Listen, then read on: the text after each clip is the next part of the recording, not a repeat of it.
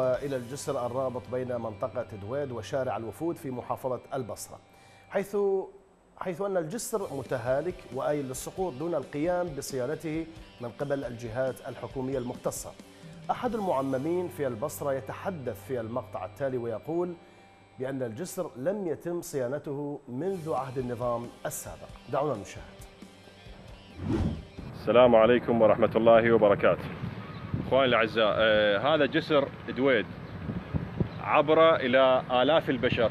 هنا منطقة سكنية يؤدي إلى شارع الوفود. الجسر متهالك وآيل إلى السقوط.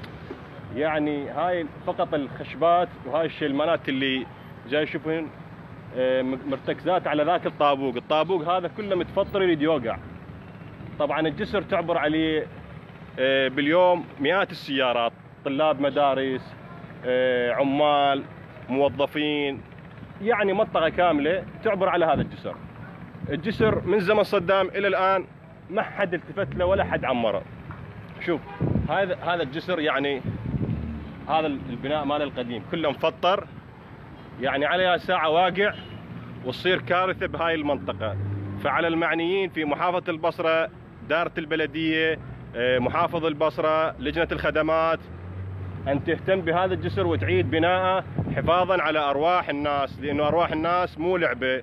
اللي يقولون إحنا جايين نسوي خدمات خلي يلتفتون الواقع البصرة وأبناء منطقة دويد يناشدون الحكومة بالالتفاتة إلى هذا الجسر. جزاكم الله خير ورسالتنا ومناشدتنا إلى كل المعنيين في محافظة البصرة.